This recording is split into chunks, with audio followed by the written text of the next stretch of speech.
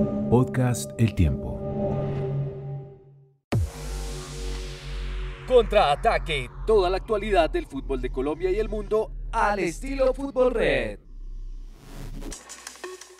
Hola amigos, bienvenidos. Esto es Contraataque. Aquí estamos en una cita esperadísima porque es nada menos que la fecha final de la ronda todos contra todos, la que nos va a decir quiénes son los clasificados y quiénes los eliminados en esta primera fase del torneo, quiénes además y de qué manera van a estar ubicados en los cuadrangulares finales que van a decidir en eh, el próximo mes de junio el campeón, el nuevo campeón de Colombia.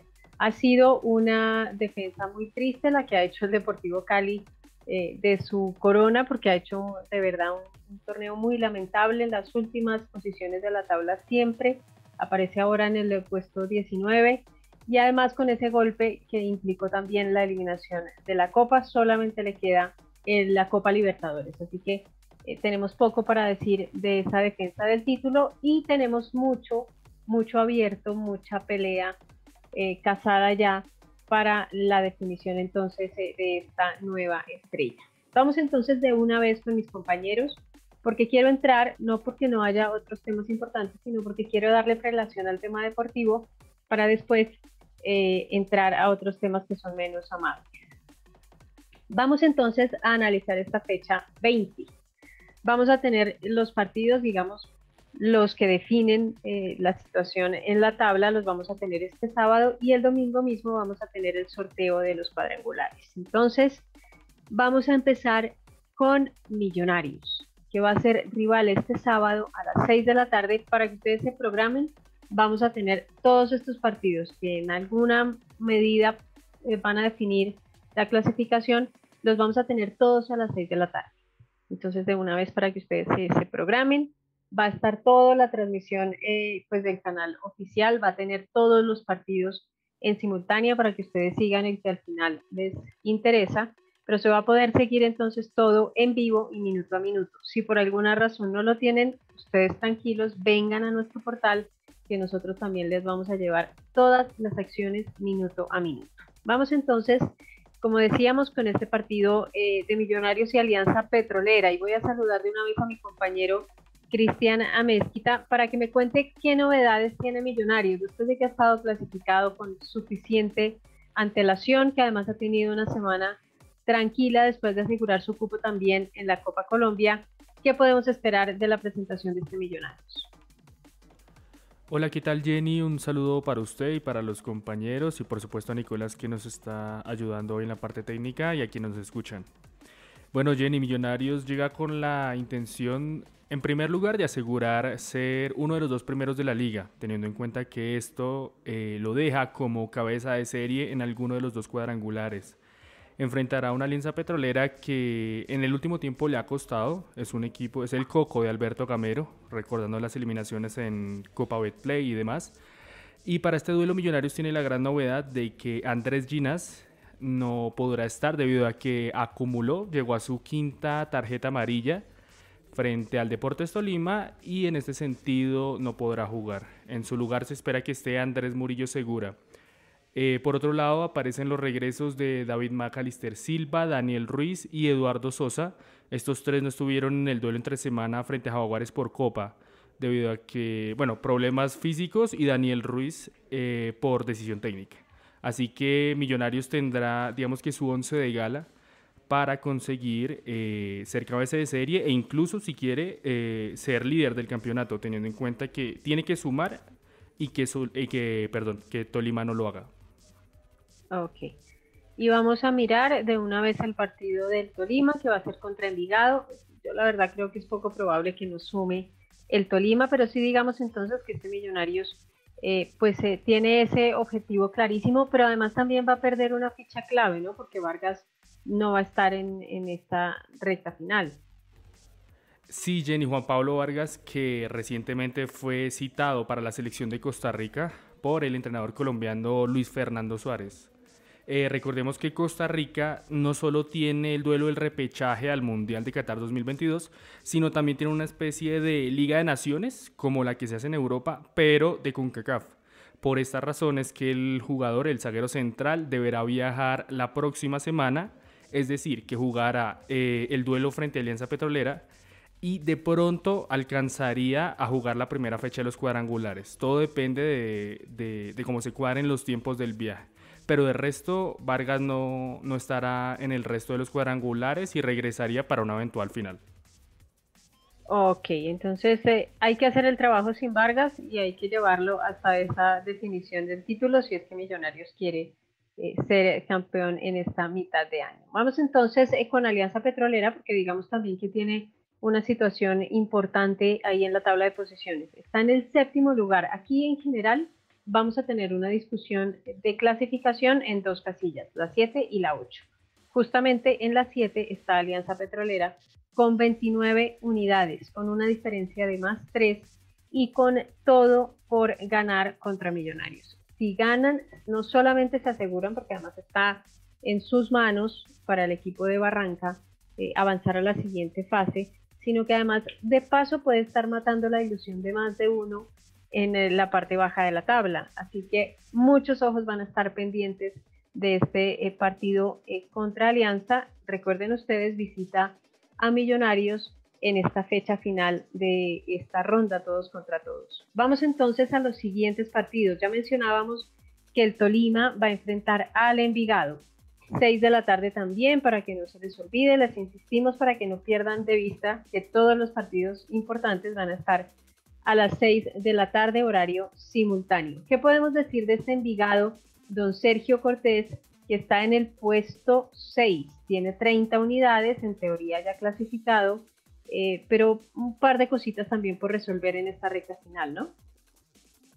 Hola Jenny, un saludo para usted, para todos los que nos escuchan. Y claro, eh, eh, cabe recordar y destacar para aquellos que se, que se conectan y nos escuchan que se empieza también a definir no solo temas de reclasificación y demás, en el caso del Tolima, peleando por ser cabeza de grupo, que es un ítem de desempate en una, en una eventual paridad en los cuadrangulares semifinales, no solo para los primeros dos de la tabla de posiciones, sino también para los que vienen abajo. Los naranjas necesitarán sumar para escalar y tener como ese ítem de desempate en comparación a los otros equipos. Por eso el partido que, que, usted mencionaba anteriormente de Millonarios y contra Petrolera, no solo es el juego del cupo seguro de los santanderianos, sino la lucha por estar ahí en esa parte alta de la tabla y tanto a Millonarios como al Tolima les sirve un empate ya para asegurarse como cabezas de grupo en cuadrangulares. Y por el lado de los antioqueños, obviamente, llegar a sumar más puntos para tener ese ítem de desempate en caso de una eventual eh, igualdad. Sí, señor. Vamos entonces a mirar de una vez el siguiente partido que también es muy atractivo y que básicamente para los visitantes es jugarse la vida. Once Caldas contra Independiente Santa Fe. Otra vez, partido a las 6 de la tarde, Cristian. Este un duelo en Manizales, es decir, no hay una temperatura adversa, difícil eh, para los bogotanos, que necesitan con desesperación eh, esos tres puntos, porque solo así van a poder eh, contabilizar 29 unidades, que puede que no alcancen, pero pues que al final es el último barquito que les queda para llegar a los cuadrangulares, ¿no? Claro, Jenny, es que Independiente Santa Fe tiene la curiosidad y es que en esta última fecha depende de dos de sus más grandes rivales, tanto de Millonarios, que enfrenta a Alianza Petrolera, como Atlético Nacional, que enfrenta a La Equidad. Es decir, si Santa Fe gana, necesita que alguno de estos dos equipos pierdan para poder ingresar a las finales de este año. Y también eh, vea que el empate sí le sirve ya que tiene 26 puntos, si logra un empate llega a 27 y en dado caso que Equidad pierda, lo pasa por diferencia de gol. Claro, teniendo en cuenta que los demás equipos como Bucaramanga y Jaguares incluso eh, pierdan sus respectivos duelos. Ya, pero Santa Fe, ¿se cree que es posible matemáticamente entrar con 27? Pues Jenny, yo creo que sí. Es que el torneo está tan flojo. O sea, yo antes de estas últimas jornadas yo creía que el número mágico era 30 pero como está la cosa, Alianza Petrolera perfectamente puede perder con Millonarios y Equidad pues ni se diga con Atlético Nacional. Entonces yo creo que 27 serviría. Sí, yo eh, digamos que entiendo que pueden ser eh, resultados probables. Lo que pasa es que me, me, parece raro, por ejemplo, en el, en el caso de la equidad, que estoy viendo, no sé si tal vez yo sea la del error, pero estoy viendo que tiene más 4. O sea, en diferencia de cuál está, por está también por delante eh, de Santa Fe y está en, en, puntos, también está un punto por arriba de Santa Fe. Así que tal vez llegar a los 27 eh, no, no alcance. Mm, no, sí, sí, porque si Equidad pierde, ese más 4 se transforma en 3. Y como Santa Fe tiene más 3, pero más, em, más goles a favor, eh, se queda con el cupo.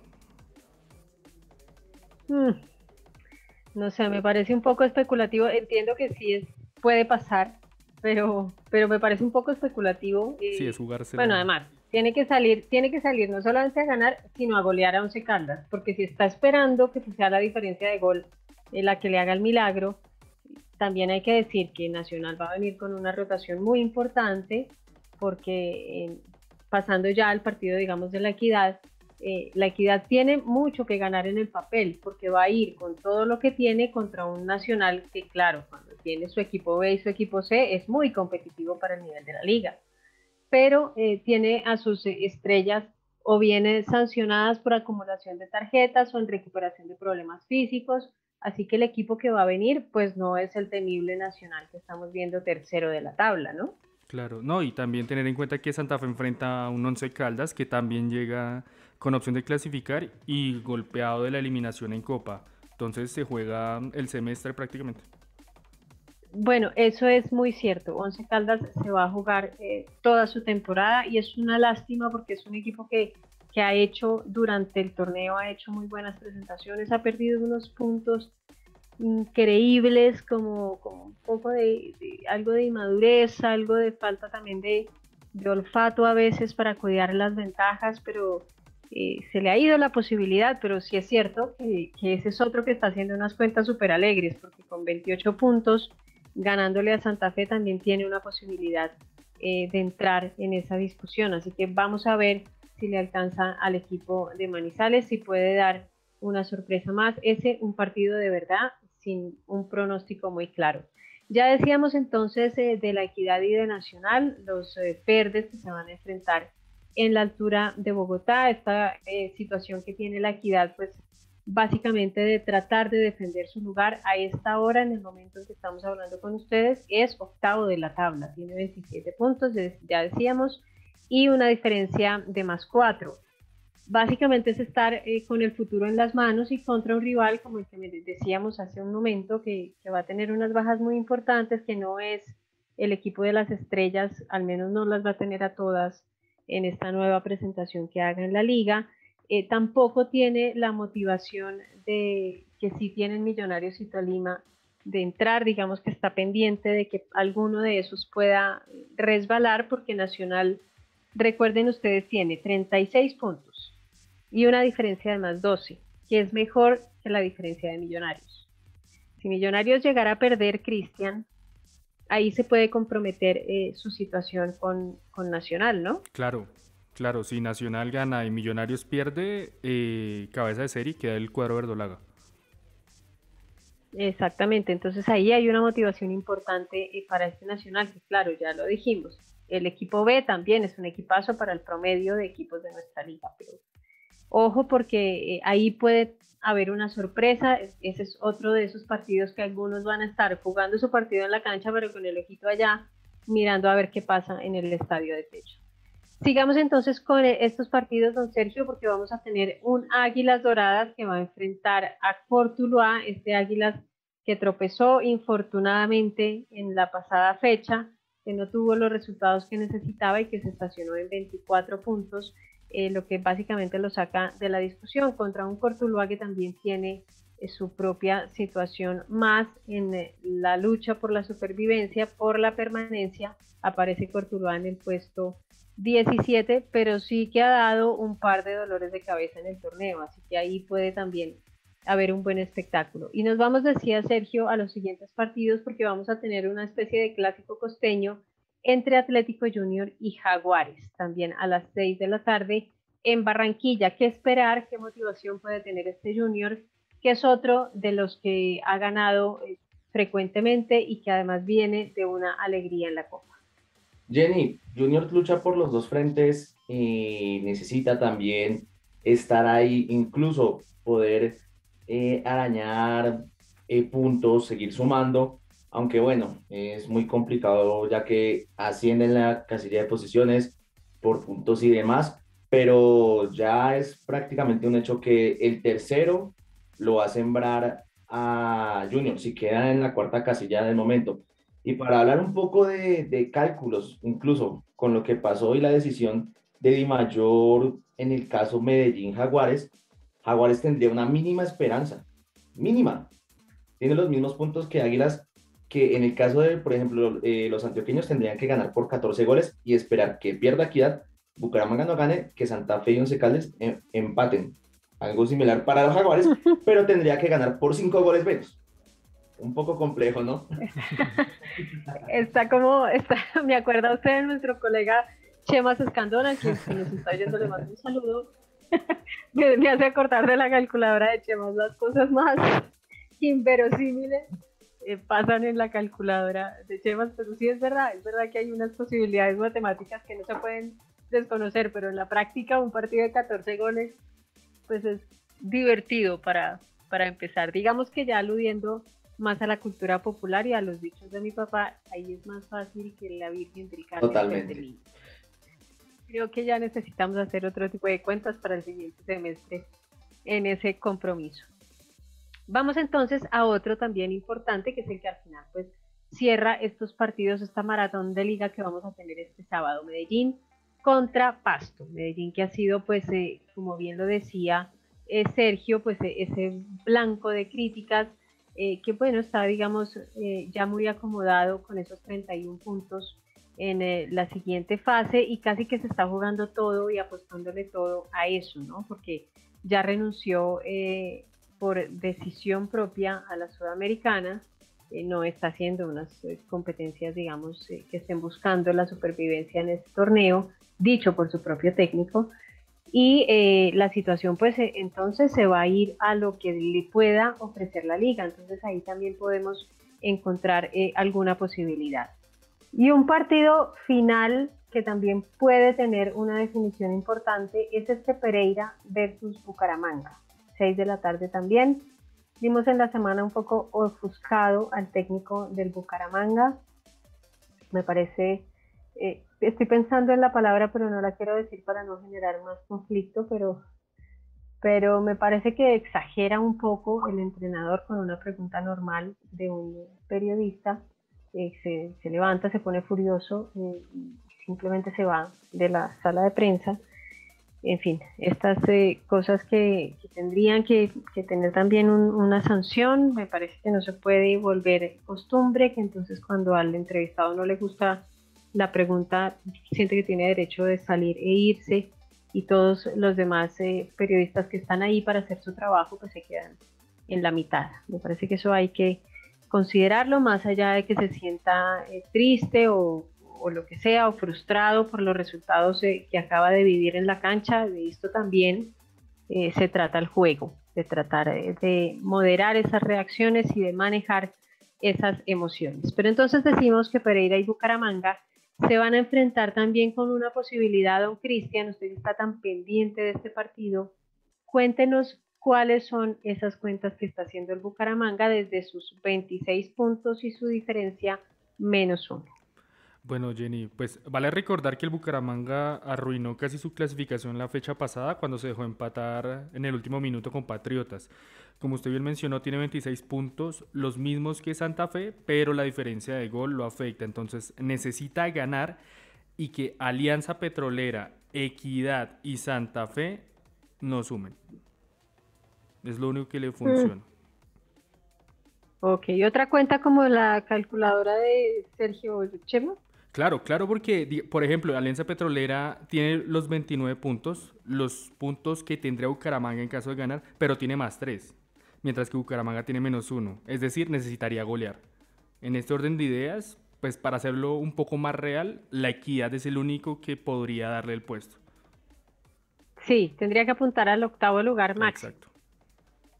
Ok, pues vamos a ver entonces si le alcanza al Bucaramanga. Como les digo, lo primero va a ser moderar sus propias reacciones y ahí probablemente pueden empezar a construir otra situación. Esto entonces es lo que tenemos por ahora, básicamente la discusión entre Alianza, La Equidad, Santa Fe, el propio Bucaramanga y un poquito más lejos Once Caldas y según nuestro amigo Sergio hasta Jaguares pudieran tener eh, una opción eh, de, mantenerse en la siguiente fase, pero en términos reales casi que son cuatro equipos por dos cupos. Entonces vamos a estar ahí, como les hemos dicho y les hemos anunciado suficientemente, en vivo todo el tiempo dándoles los detalles de cómo va la clasificación en esta última jornada de la ronda todos contra todos. Esto entonces es lo que nos está pasando en la liga nuestra, pero vamos a tener también otra actividad importante que tiene que ver con colombianos. Voy a empezar con los dolorosos para pasar después a los gozosos. Los muy dolorosos tienen que ver, y ustedes ya seguramente están enterados, de la situación de Sebastián Villa.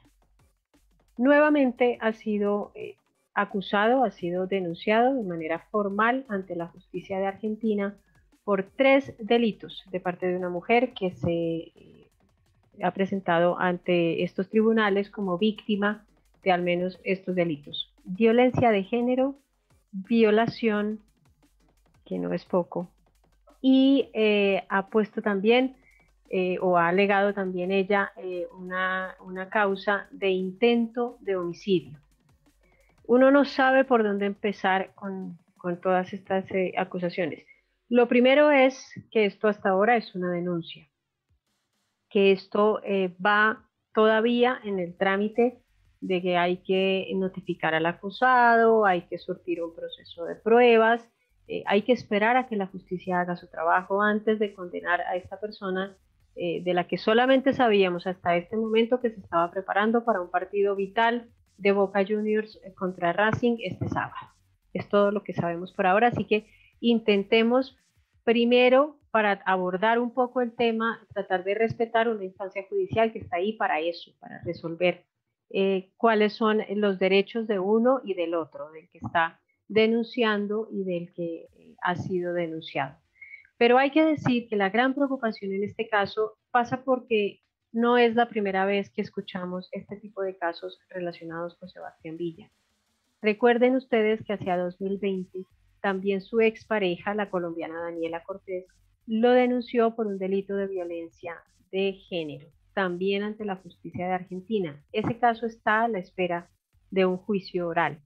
Es decir, todavía no sabemos si es culpable, pero tampoco en teoría podemos asegurar que es inocente, porque la causa está abierta, se han eh, surtido ya todos eh, los procesos, eh, pero todavía está pendiente de finalizar ese proceso. Entonces hay que tener eh, un poco de calma con eso, pero hay que también abrir muy bien los ojos porque estamos hablando de otro caso muy parecido al que ya una vez le sucedió, con el agravante de que al parecer Villa intentó eh, negociar con su denunciante el año pasado después de que ocurrieron los hechos que aparentemente han ocurrido en junio del año 2021 eh, así que pues eh, e, ese es otro detalle y un posible delito de extorsión que pudiera sumarse eh, a este escándalo. Muy lamentable lo que pasa con el jugador, muy preocupante desde todo punto de vista para él, en su, en, su, círculo interno, en, en, su fuero interno también, verse involucrado otra vez en una situación así. Y para Boca, una situación deportiva también muy complicada porque bien o mal o con todas las eh, complicaciones que, es, eh, que implican pues eh, lidiar con un jugador como Villa, pues es el hombre más desequilibrante de ese ataque. Así que con esta situación, este panorama, quiero preguntarles a mis compañeros qué opinión tienen sobre esta situación de Villa. Insisto, no es para que nosotros digamos desde esta tribuna es culpable o es inocente porque no solamente no lo sabemos, sino que no nos corresponde. No es nuestro trabajo juzgar a uno o al otro. Pero lo que quiero saber es un poco cómo va a afectar esta situación el, futuro deportivo de Villa, porque como insisto, como esto ya no es nuevo, como ha pasado antes, lo que se espera es que tenga unas condiciones y unas consecuencias distintas. Don Sergio Cortés. Jenny, y pues usted lo dijo, eh, no somos quien para juzgar y antes de dar la opinión, eh, creo que, ah, eh, lo digo por mi parte, poco me interesa lo que pase en la vida personal de los futbolistas, pero sí hay que reconocer y decir lo que por obligación, ellos son figuras públicas y ante eso deben dar cierto, cierto ejemplo, deben dar cierto ejemplo. Y ya hablando de lo que puede pasar con él desde el ámbito deportivo, es lo que viene pasando desde el caso de Daniela Cortés, que se le cierran las puertas de uno y otro lado. Pueda que en Boca, como en su momento, le, le, eh, ayudaron y demás para, para seguir el proceso, pero ante una nueva acusación eh, que es muy grave, todo tipo de acusación de ese tipo es bastante grave, va a repercutir de manera negativa, no solo en, a nivel de lo que vaya a pasar en su carrera en el futuro próximo o lejano. Creo que un salto a Europa con esos antecedentes podría ser muy complicado a estas alturas y seguir cerrando, incluso me atrevería a decir que de manera definitiva, un eventual llamado a la selección Colombia. Prácticamente uno de los descartados de entrada.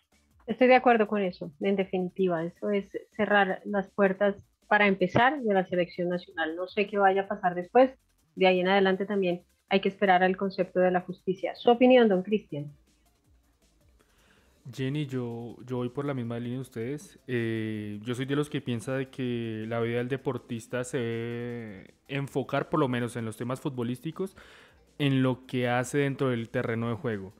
Pero estas situaciones, ignorarlas es muy complicado. Primero porque, como usted decía, hay un antecedente, que es el tema de Daniela Cortés, que digamos que en beneficio para él evolucionó favorablemente, tanto así que la misma Daniela dijo que no tenía problemas en que siguiera jugando en Boca Juniors, pero ya con esto es como dar todos los pasos hacia atrás. Todo el camino que había recorrido se fue al traste. Eh, creo que la convocatoria Selección Colombia, que ya por lo menos estaba analizando, se cae. Eh, su presencia en Boca Juniors probablemente se puede caer y esto significa que eh, en Copa Libertadores no pudo jugar justamente por la sanción que tenía de mal comportamiento en la edición pasada en territorio brasileño y ahora cuando ya había cumplido la, sanción, pues se puede perder, terminar de perder la Copa Libertadores en fase de grupos e, e, incluso fases finales, justamente por esta situación. Entonces yo creo que es un error completo de, del futbolista, más allá de lo que se declare, pero sí es un retroceso crucial en su carrera. Y lo que decía Sergio, eh, dar un paso a Europa con estos antecedentes se complica muchísimo.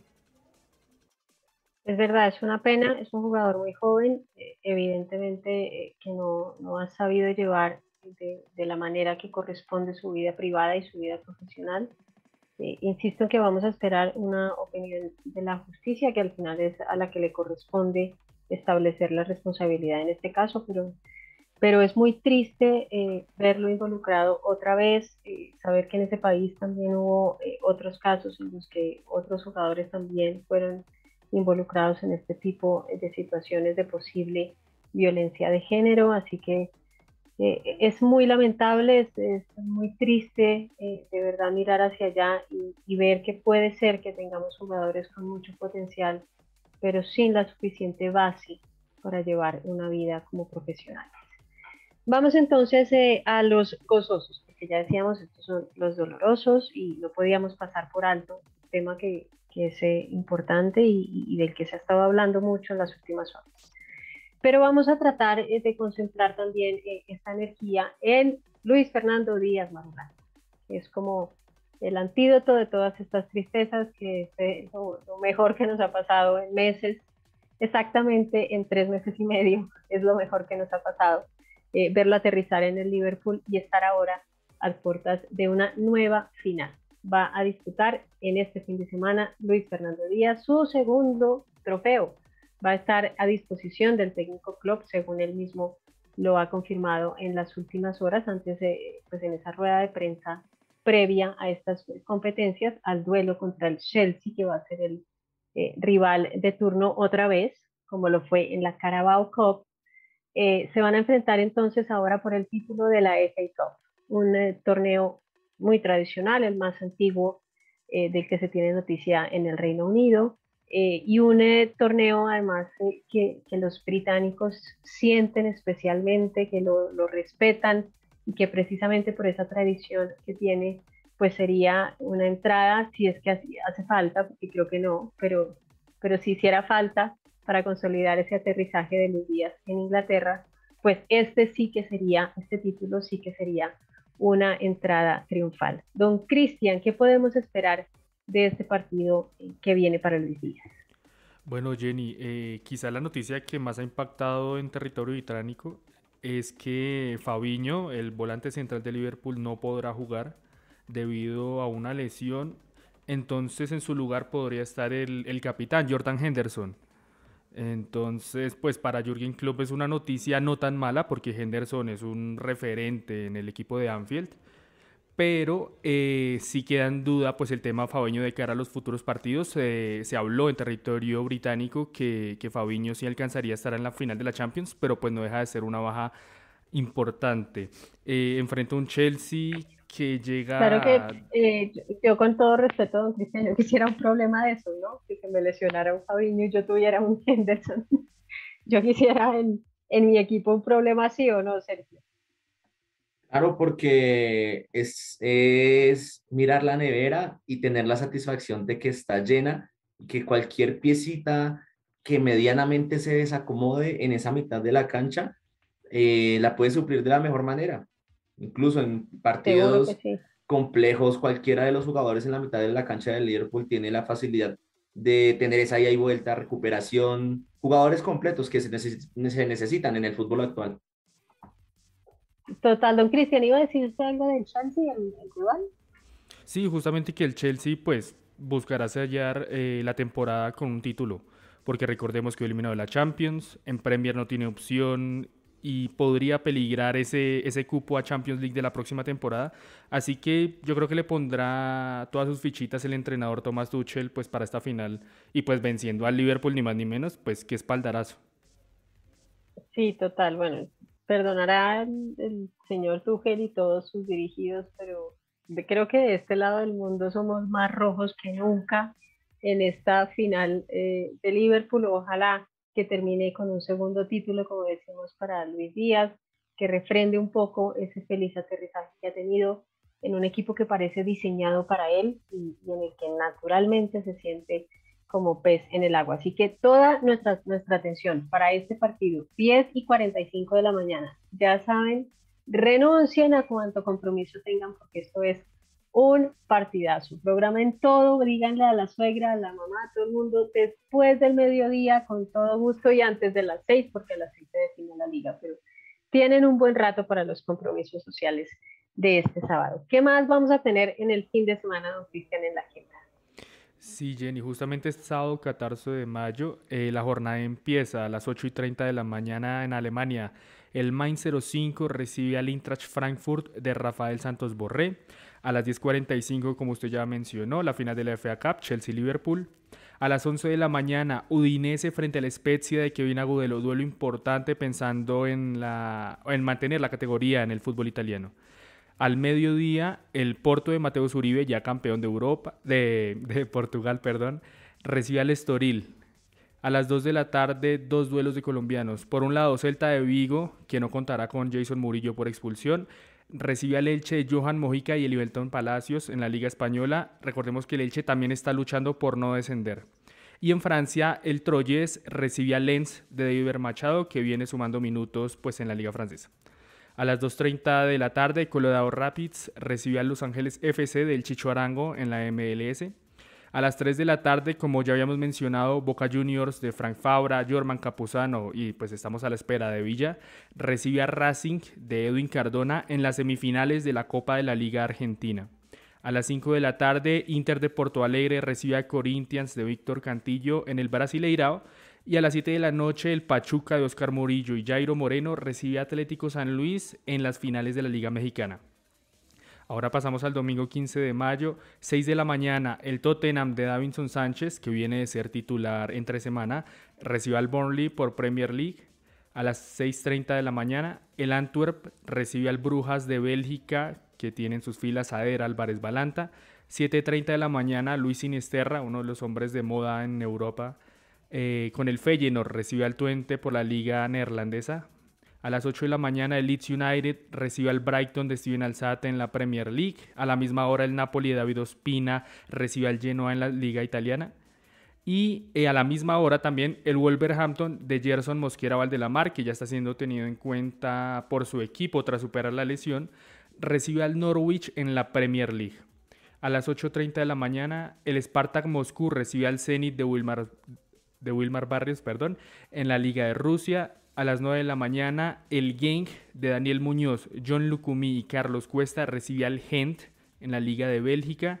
A las 11 de la mañana, otro duelo supremamente importante. En Italia, el Milan recibe al Atalanta de Duban Zapata y Luis Fernando Muriel. Recordemos que el Milan está peleando por el título del torneo local con el Inter. A las 12.30 del día, el Real Betis recibe al Granada de Luis Fernando Suárez, Carlos Vaca y Santiago Arias, que está volviendo a sumar minutos tras superar pues, su respectiva lesión. A la misma hora, el Mallorca recibe al Rayo Vallecano de Radamel Falcao García. Y a las 6 de la tarde, el Atlas, que viene de tener a Camilo Vargas como gran figura, recibe a las Chivas de Guadalajara en las finales de la Liga Mexicana. Bueno, y todo este panorama entonces nos va a aclarar eh, mucho de lo que va a pasar, ¿no? Porque ya mencionaba Cristian el caso de Sinisterra, por ejemplo, que está sonando para el Bayer Leverkusen en Alemania, el caso de Dubán Zapata, que ha vuelto a, sonar también para el Inter de Milán. Ya en el pasado eh, mercado se había mencionado algo sobre el tema, estaban a la espera de que saliera algún jugador que finalmente no salió, pero en este mercado de verano puede haber novedades eh, con este eh, jugador, así como con Luis Muriel, porque también hay que contarles eh, que el Atalanta pues está tratando de hacer su propia renovación y está buscando para todos sus jugadores veteranos la opción de una salida. Eso directamente afecta a Colombia, que tiene ahí dos bases importantes. Pero de todos estos partidos que acabamos de mencionarles, no se preocupen ustedes si no alcanzaron a grabarse en la hora y cuál es el compromiso, porque nosotros en www.futbolred.com les estamos resolviendo esa y otras dudas. Así que vengan, prográmense con nosotros, aquí les contamos todo, la hora de los partidos, hasta el canal donde pueden verlos. Entonces, síganos siempre, estén pendientes de nuestro portal porque aquí tenemos cada día, cada minuto nueva información para ustedes. Así que entonces, mis compañeros, como siempre, muchísimas gracias a ustedes por el tiempo y por las valiosas opiniones que dan en esta conversación. Don Nicolás también, muchísimas gracias por su apoyo en la parte técnica y a ustedes que están ahí del otro lado, mil gracias por estar ahí.